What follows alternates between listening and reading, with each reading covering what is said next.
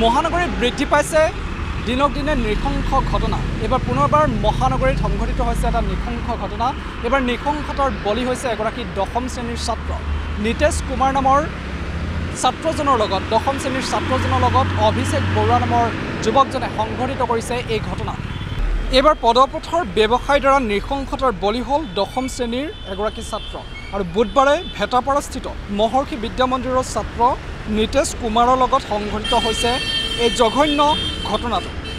অভিষেক বৰুৱা সংঘটিত কৰিছে এই জঘন্য ঘটনা।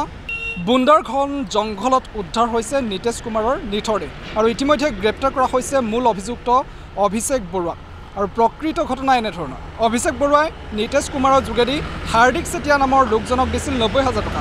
এই হাৰ্দিক চেতিয়া নামৰ যুৱকজনক নব্বৈ হাজাৰ টকা দিছিল আৰু টকাখিনি ঘূৰাই দিয়াৰ দায়িত্ব লৈছিল নিতেশ কুমাৰ নামৰ এই ছাত্ৰজনে। আৰু এতিয়া টকাৰ বাবেই অভিষেকে নিতেশৰ লগত এই জঘন্য কাণ্ড সংঘটিত কৰিছে বুলি পোহৰ ওলাইছে। আমি যদি চাওঁ নিতেশক ইফালে মুক্তিপণৰ বাবে পিতৃ মাতৃক কিন্তু সাত লাখ টকা দাবী কৰিছিল অভিষেকে।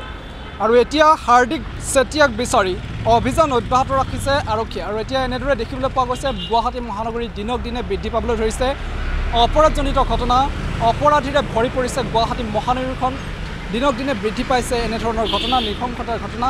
ইটোৰ পাছত সিটো ঘটনা পোহৰলৈ আহিছে গুৱাহাটী মহানগৰীত। এনেদৰেই অপৰাধজনিত ঘটনাই চানি ধৰিছে গুৱাহাটী মহানগৰীখন।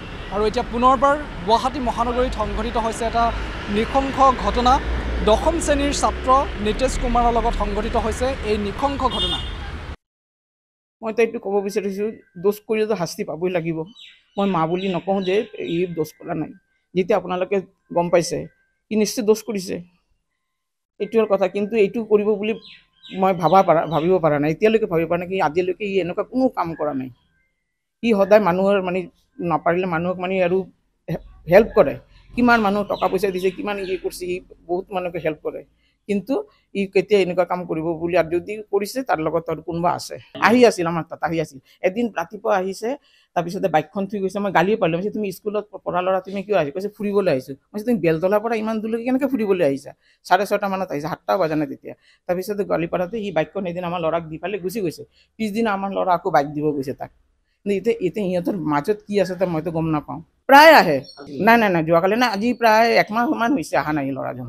একমাহ মান অহা নাই। মানে একমাহ আগতে আহিছে সি আছিল ঘৰতে আছিল। ৰাতিপুৱাৰ পৰা মানে ঘৰত আছিল ওলাই যায় আকৌ আহে ওলাই যায় আকে নহয়। কিন্তু ডেৰটাৰ পৰা ডেৰটা বা দুপৰীয়া ডেৰটা বজাৰ পৰা নাছিল সি ঘৰত। তাৰপিছতে মই এদিন সুধিলোঁ সদায় জনাই মাছে তোমালোকৰ তেনেকৈ কি চিনাকি? কাৰণ বয়সৰ ডিফাৰেঞ্চ আছে নহয়। কৈছে না আমি ই আগতে তাতে কাম কৰিছিল আমাৰ সৰুজনে। কৈছে তাৰ পৰা তেতিয়াৰ পৰা আমি চিনি পাওঁ এনেকুৱা কৈছে। সি নিজেই কৈছে আমাক। বেলতলা তাত আগতে কি কৈছে আমি দেখিব যোৱা নাই ন সি কৰিছিল কাম কৰিছিল জানো?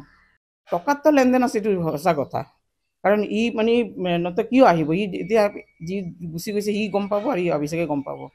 আমাৰ ঘৰত অহা যোৱা প্ৰায় এতিয়া এইটো অগষ্ট চলি আছে আপুনি মানে ছমাহ ছমাহ তাত দেউতাকে বেমাৰত আছিল তেতিয়াৰ পৰা এদিন আহিছে এজন ল'ৰা লৈ পেলাই তাৰপিছতে অভিষেক নাছিল ঘৰত। তাৰপিছতে নাথাকাৰ কাৰণে ফাৰ্ষ্ট সি আহিছে এজন ল'ৰা লৈ পেলাই তাৰপিছতে আহে অকলেও আহে কেতিয়া কাৰোবাক লৈ আহে।